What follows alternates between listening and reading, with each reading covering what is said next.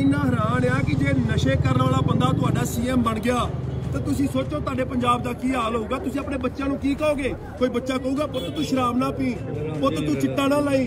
ਤੁਹਾਡੇ ਬੱਚੇ ਜੇ ਉਹਨਾਂ ਵੱਲ ਵੇਖਣਗੇ ਇਹਨਾਂ ਐਮਐਲਏ ਵੱਲ, ਸੀਐਮ ਵੱਲ, ਤੁਹਾਡੇ ਬੱਚੇ ਦਾ ਕੀ ਹਾਲ ਹੋਊ? ਪੰਜਾਬ ਦਾ ਕੀ ਹਾਲ ਹੋਊ? ਜਿਹਨਾਂ ਨੂੰ ਮਾਰ ਦਿੱਤਾ 12 ਮਹੀਨੇ ਉੱਥੇ ਉਹਨਾਂ ਤੁਹਾਡੇ ਬਜ਼ੁਰਗਾਂ ਨੂੰ। ਅੱਜ ਤੁਸੀਂ ਇਹਨਾਂ ਦੇ ਝੰਡੇ ਫੜੀ ਫਿਰਦੇ ਹੋ। ਇਹ ਤੇ ਤੁਹਾਡੀ ਬੋਲੀ ਨਹੀਂ ਛੱਡਣਗੇ, ਤੁਹਾਡੇ ਪਾਣੀ ਨਹੀਂ ਛੱਡਣਗੇ। ਤੁਹਾਨੂੰ ਸ਼ਰਮ ਨਹੀਂ ਆਉਂਦੀ ਉਹਨਾਂ ਦੇ ਝੰਡੇ ਫੜਦੇ ਆ ਜਿਹੜੇ ਐਮਐਲਏ ਆ ਨਾ ਐਮਐਲਏ ਵੇਚ ਰਹੇ ਨੇ ਇੱਥੇ ਨਸ਼ਾ, ਸ਼ਰੇਆਮ ਵੇਚ ਰਹੇ, ਲੋਕਾਂ ਨੂੰ ਵੀ ਪਤਾ। ਉਹਨਾਂ ਨੂੰ ਫਿਰ ਟਿਕਟਾਂ ਦਿੱਤੀਆਂ ਗਈਆਂ।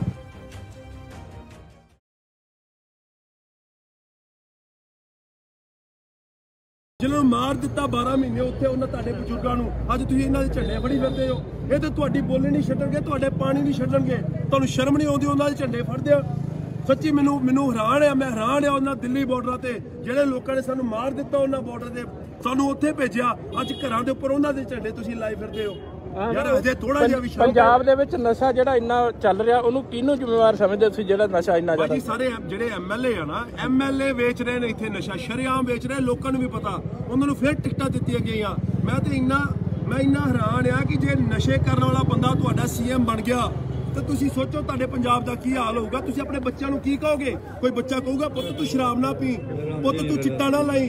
ਤੁਹਾਡੇ ਬੱਚੇ ਜੇ ਉਹਨਾਂ ਵੱਲ ਵੇਖਣਗੇ ਇਹਨਾਂ ਐਮਐਲਏ ਵੱਲ ਸੀਐਮ ਵੱਲ ਤੁਹਾਡੇ ਬੱਚੇ ਦਾ ਕੀ ਹਾਲ ਹੋਊ? ਪੰਜਾਬ ਦਾ ਕੀ ਹਾਲ ਹੋਊ? ਉਹ ਬਾਬੇ ਨਾਨਕ ਦੀ ਹੱਤੀ ਤੇ ਤੁਸੀਂ ਕੀ ਕਰੀ ਜਾਂਦੇ ਹੋ? ਆਮ ਆਦਮੀ ਨੇ ਭਗਵੰਤ ਮਾਨ ਨੂੰ ਉਮੀਦਵਾਰ ਸੀਐਮ ਦਾ ਚਿਹਰਾ ਲਾਣੇ ਉਹਨੂੰ ਕਿਵੇਂ?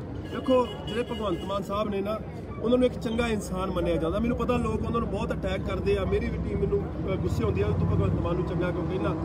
ਭਗਵੰਤ ਮਾਨ ਬਾਰੇ ਜੋ ਵੀ ਮੈਂ ਸੁਣਿਆ, ਮੈਂ ਕਿਉਂਕਿ ਲੋਕਾਂ ਨੂੰ ਪੁੱਛਦਾ ਰਹਿਣਾ ਬਾਰਡਰਾਂ ਤੇ ਅਸੀਂ ਮਿਲਦੇ ਸਾਂ। ਬਹੁਤ ਮਾਲਵੇ ਦੇ ਲੋਕ ਉੱਥੇ ਆਏ। ਉਹਨਾਂ ਨੇ ਇਹ ਕਿਹਾ ਕਿ ਇਹ ਬੰਦੇ ਨੇ ਇੱਕ ਵੀ ਪੈਸਾ ਨਹੀਂ ਖਾਦਾ ਮੈਨੂੰ ਪਤਾ ਤੁਸੀਂ ਉਹਨਾਂ ਦੀ ਸ਼ਰਾਬ ਕਰਕੇ ਉਹਨਾਂ ਨੂੰ ਅਟੈਕ ਕਰਦੇ ਹੋ। ਔਰ ਕਿਤੇ ਨਾ ਕਿਤੇ ਤੁਸੀਂ ਸ਼ਾਇਦ ਗੱਲ ਤੇ ਸਹੀ ਵੀ ਹੋ ਕਿ ਜੇ ਜੇ ਸਾਡੇ ਸੀਐਮ ਸਾਹਿਬ ਸ਼ਰਾਬ ਪੀਂਦੇ ਇੰਨੀ ਜ਼ਿਆਦਾ ਜੋ ਦੱਸਿਆ ਜਾਂਦਾ, ਬੇ ਜਿਹੜੀ ਆਪਣੀ ਬ- ਦੀ ਸਟੇਜ ਦੇ ਉੱਤੇ ਵੀ ਸ਼ਰਾਬ ਪੀ ਕੇ ਚਲ ਗਏ। ਸ਼ਾਇਦ ਪਾਰਲੀਮੈਂਟ ਵਿੱਚ ਵੀ ਸ਼ਰਾਬ ਉਹ ਉਹ ਉਹਨਾਂ ਨੂੰ ਆਦਤ ਛੱਡਣੀ ਪਊਗੀ ਔਰ ਮੈਂ ਕਹਿੰਦਾ ਕਿ ਉਹ ਉਹ ਛੱਡ ਸਕਦੇ ਆ? ਵੇਖੋ ਸ਼ਰਾਬ ਪੀਣ ਵਾਲਾ ਇਨਸਾਨ ਮਾੜਾ ਨਹੀਂ ਹੁੰਦਾ ਕਈ ਵਾਰੀ ਉਹਨੂੰ ਲਾਇਆ ਜਾਂਦਾ ਉਹ ਨਸ਼ੇ ਤੇ। ਸੋ ਅਸੀਂ ਉਹ ਚੀਜ਼ ਨੂੰ ਹੈਲਪ ਕਰ ਸਕਦੇ 14 ਦਿਨ ਵਿੱਚ ਦੂਰ ਪਰ ਉਹਨਾਂ ਨੂੰ ਪ੍ਰੋਮਿਸ ਕਰਨਾ ਪਊਗਾ ਇੱਕ ਚੀਜ਼। ਵੇਖੋ ਬਾਕੀ ਉਹਨਾਂ ਵਿੱਚ ਸਾਰੀਆਂ ਖੂਬੀਆਂ ਔਰ ਮੈਂ ਉਹਨਾਂ ਦੀ ਰਿਸਪੈਕਟ ਵੀ ਕਰਦਾ। ਪਰ ਆ ਜਿਹੜੀ ਕਮੀ ਆ ਸ਼ਰਾਬ ਵਾਲੀ ਇਹ ਤੇ ਸਾਨੂੰ ਪ੍ਰੋਮਿਸ ਕਰਨਾ ਪਊਗਾ ਭਾਵੇਂ ਐਫੀਡੇਵਿਟ ਲਿਖਣ। ਅਵਸਥਾ ਉਹਨਾਂ ਨੇ ਵਾਹ ਦੀ ਕਸਮ ਖਾਧੀ ਸੀ ਫੇਰ ਨਹੀਂ ਛੱਡ ਸਕੇ। ਫਿਰ ਭਾਈ ਜੀ ਫਿਰ ਸੀਐਮ ਦਾ ਔਖਾ ਮੇਰਾ ਭਰਾ। ਫਿਰ ਬਾਕੀ ਤੁਸੀਂ ਆਪੇ ਆਪੇ ਸਿਆਣੇ ਹੋ ਜਿੰਨੇ ਮਾਂ ਦੀ ਕਸਮ ਖਾ ਕੇ ਸ਼ਰਾਬ ਨਹੀਂ ਛੱਡੀ ਕੱਲ ਪੰਜਾਬ ਜਦੋਂ ਸਟਾਰਟਿੰਗ ਦੇ ਵਿੱਚ ਨਸ਼ਾ ਵੜਿਆ ਸੀ ਪੰਜਾਬ ਦੇ ਮੈਂ ਵਿੱਚ ਹੈ ਉਹਨੂੰ ਅਟੈਕ ਨਹੀਂ ਕਰਨਾ ਮੈਂ ਮੈਂ ਵੇਖੋ ਕਦੀ ਵੀ ਕਿਸੇ ਨੂੰ ਪਰਸਨਲ ਅਟੈਕ ਨਹੀਂ ਕਰਨਾ ਚਾਹੁੰਦਾ ਪਰ ਇੱਕ ਪਾਰਟੀ ਦਾ ਚੋਣ ਸਾਨ ਕੀ ਜਿਹੜਾ ਲੇਟ ਹੋ ਰਿਹਾ ਭਾਈ ਜੀ ਉਹ ਬੀਜੇ ਵੇਖੋ ਗੱਲ ਆ ਅਸੀਂ ਨਾ ਸਰਕਾਰਾਂ ਨਾਲ ਅੱਜ ਉਹਨਾਂ ਸਰਕਾਰਾਂ ਨਾਲ ਸ਼ਰੇਆਮ ਲੜ ਰਹੇ ਆ। ਜਿਨ੍ਹਾਂ ਨੇ ਸਾਨੂੰ ਦਿੱਲੀ ਭੇਜਿਆ, ਤੁਹਾਨੂੰ ਕੀ ਲੱਗਦਾ ਪਾਰਟੀ ਸਿੰਬਲ ਐਵੇਂ ਦੇ ਦੇਣਗੇ?